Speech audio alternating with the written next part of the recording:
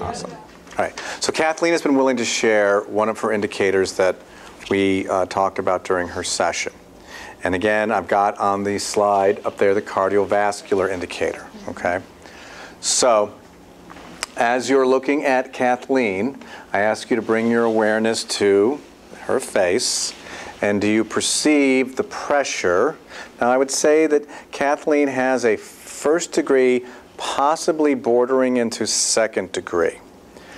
If you were to look at her eyes and her face, do you feel that pressure from behind her eyes? Did the mingle, can I talk with this going? When we did the mingle, I, I said to you that it felt real tight to me in here. And I think that's what I was trying to describe, was it just felt tight. Okay. Does that make sense? Well, okay, maybe the word is tight, With the- but, With the pushing out, you would get a tightness. Okay? A bulging, a pressure, tightness, so everybody get that. Yes. Okay, anybody not see that?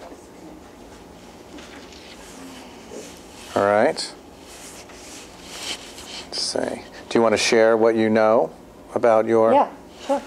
Um, I have a mitral valve prolapse, and but it I had an EEG in 2006, and it wasn't anything that my doctor was alarmed about. But I have one brother that had an aortic valve replacement, and two other brothers that had mitral valve repairs, and one nephew with a, an aor- aortic valve replacement, and another nephew with an aortic valve repair. So it seems to be more predominant with the male side of my family, but it's definitely there.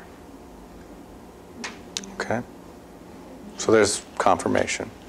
Okay. Thank you. Okay. Thank you. That's it.